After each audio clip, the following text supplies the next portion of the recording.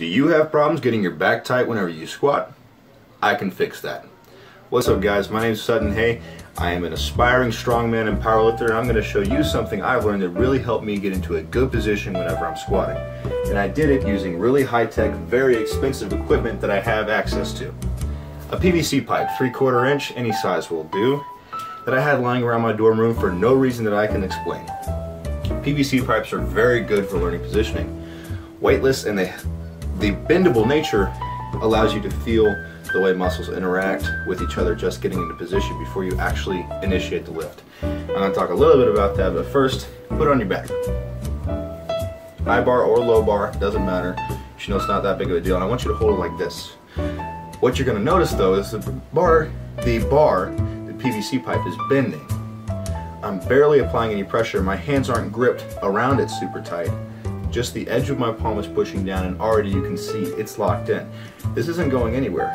From the side, you can see it's in the appropriate position for me. This is where I do high bar. If I wanted to do low, I'd have it down here and lean forward a little bit more.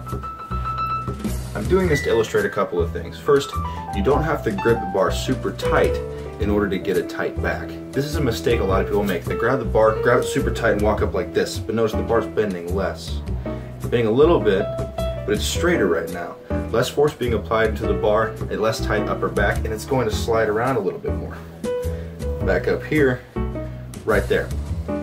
Bar's not going anywhere. A solution that a lot of people use and that I use currently is going with a thumbless grip and actually rotating the wrist slightly out on the squat like this.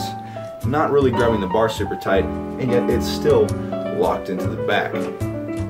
This is going to help you get your back tight because it trains you rather it trains you to rely on your back being tight and your traps being tight rather than your hands squeezing it hard. You take the grip out of the equation and you can finally learn how to get the muscles tight independent of your grip. Now, this next bit is complete bonus material.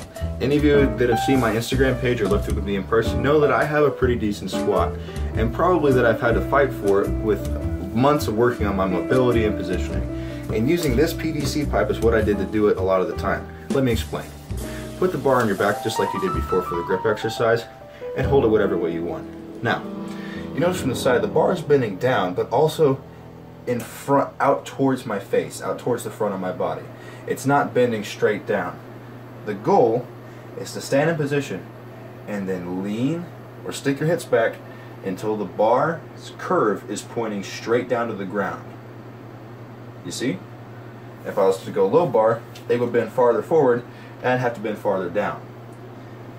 This is the angle that I use to squat at, whether high bar or low bar. Not necessarily saying it's going to work for everybody, but trust me, put a PVC pipe on your back, find which angle your torso makes the bar perpendicular to the ground, and try getting into that position before you squat. You might just find it's a lot more comfortable. Everybody should be squatting. Everybody should have the ability, the mobility, and the ability to squat. And whatever I can do to help you get there, I am happy to do. My name is Sutton Haye, and thanks for watching.